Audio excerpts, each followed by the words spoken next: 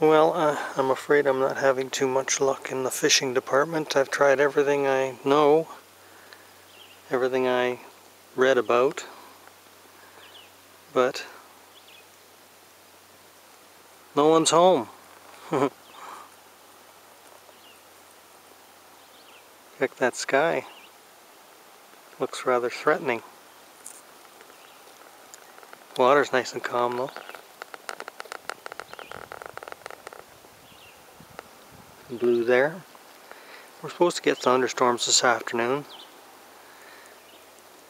Uh, I haven't been able to catch any minnows either. Makes me wonder, is there any fish in this lake? But apparently the MNR uh, did a survey and they caught quite a few in their nets. Pickerel up to more than two feet long. So,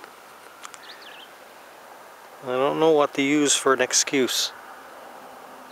Except that I'm a lousy fisherman. I guess that's good enough.